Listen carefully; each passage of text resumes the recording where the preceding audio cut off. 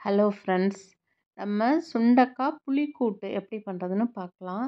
ஒரு குக்கரில் எண்ணெய் விட்டுட்டு சூடானதும் கடுகு உளுத்தம்பருப்பு போட்டு அது பொரிஞ்சோன்னா அது கூடவே கடலைப்பருப்பு வெங்காயம்.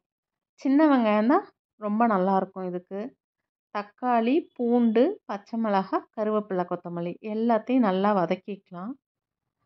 எல்லாம் நல்லா வதங்கி வந்தோடனே சுண்டக்காய் க்ளீன் பண்ணி கழுவி வச்சுருக்கோம். அதை ரெண்டு ரெண்டாக நான் கட் பண்ணி வச்சுருக்கேன். நான் விதையோடு தான் போடுவேன். மோரில் கலந்து சுண்டக்காவை கட் பண்ணி போட்டிருந்தோம்னா ரொம்ப கருத்து போகாது. அதை எல்லாத்தையும் போட்டு ஜஸ்ட்டாக மிக்ஸ் பண்ணி விட்டுட்டு தண்ணி தண்ணியோட புளி தண்ணியும் சேர்த்து ஊற்றிட்டு குழம்பு மிளகாத்தூள் உப்பு மஞ்சத்தூள் போட்டு ஒரு நாலு விசில் விட்டுக்கலாம். அந்த புளி கொஞ்சம் கூட விட்டோம்னா நல்லா டேஸ்ட்டாக இருக்கும்.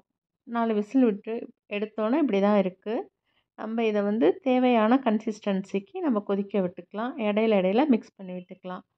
வயிறு புண்ணு ஆற்றும் வயிற்றில் பூச்சி இருந்தால் சரி பண்ணி விட்டுரும். இதெல்லாம் உடம்புக்கு ரொம்ப நல்லது. அவ்வளோதான் இப்படி கூட்டு மாதிரி கெட்டியாக வச்சுக்கிட்டு இதை சாதத்துலேயும் பிசைஞ்சு சாப்பிட்லாம். தயிர் சாதத்துக்கும் தொட்டுக்கலாம். ரொம்ப நல்லாயிருக்கும்